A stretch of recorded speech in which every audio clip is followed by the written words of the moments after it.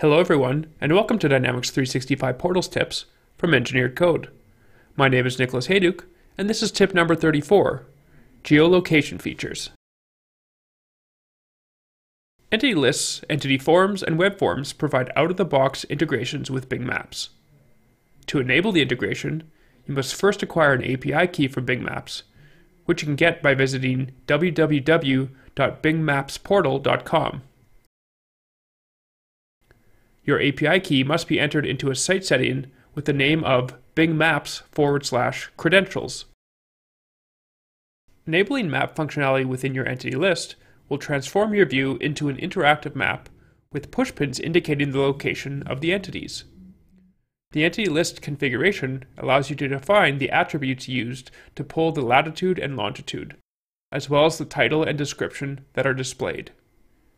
Users are then able to search for records based on proximity. The map functionality for entity forms and web forms allow for both the display or update of location information.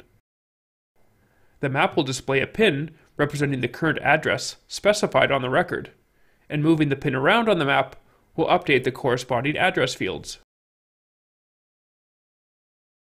Thanks for watching and I hope you found the Dynamics 365 Portals tip number 34 from Engineered Code on the geolocation features useful.